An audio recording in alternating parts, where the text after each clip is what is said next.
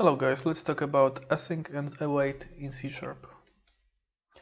Async and await keywords allow us to perform asynchronous operations in C Sharp. Asynchronous operations are operations that aren't blocking the calling thread. It is especially important for web and desktop applications.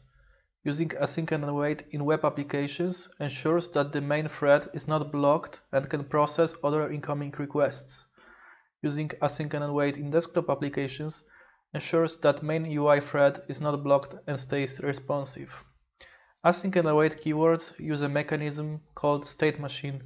It allows performing asynchronous operations on the calling thread without blocking it. It means that async and await uses only one thread by default. Additional threads may be used inside of the given asynchronous operation though. Let's see an example. So here we have a simple console application. The main method is async and returns task, which is mandatory to use async await syntax in console application. I am using console writeline to output the ID of the current thread.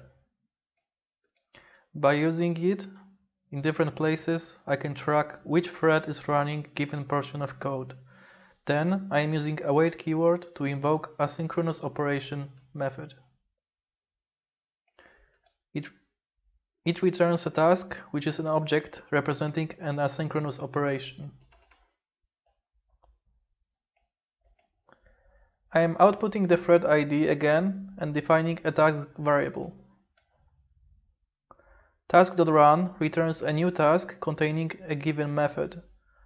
I have also used console readline to hold the program so we can see the results. Let's run the application.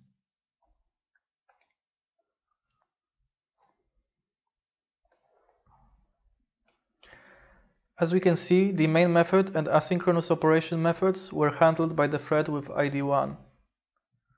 Every task created with task.run will run using separate thread and that's why thread 5 is handling it. That's the evidence that async await does not switch threads by default. Why would we use async and await inside of the console application? There is no much benefit. It is mandatory though for web and desktop applications. I hope that this quick video has helped you to understand the concept, and I hope to see you soon.